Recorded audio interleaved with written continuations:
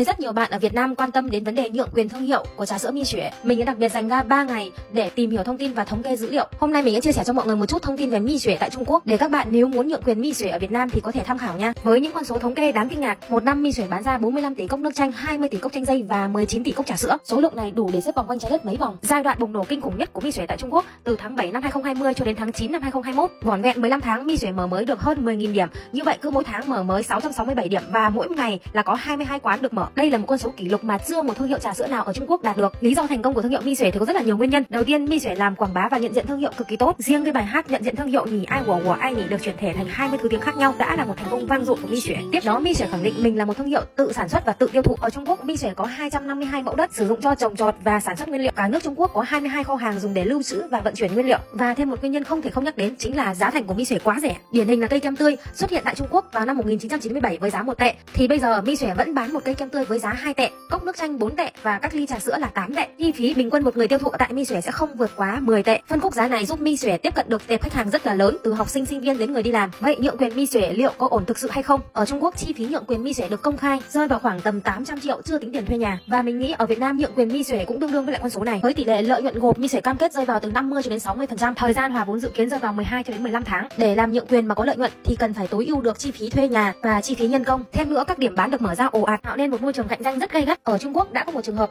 để tránh cạnh tranh lẫn nhau, một người đã đứng ra nhận nhượng quyền 200 cửa hàng Mi Xuể. Vậy nếu là bạn, bạn có chấp nhận bỏ ra từ 800 cho đến 1 tỷ 2 để đầu tư một cửa hàng Mi Xuể ở Việt Nam ở thời điểm hiện tại hay không?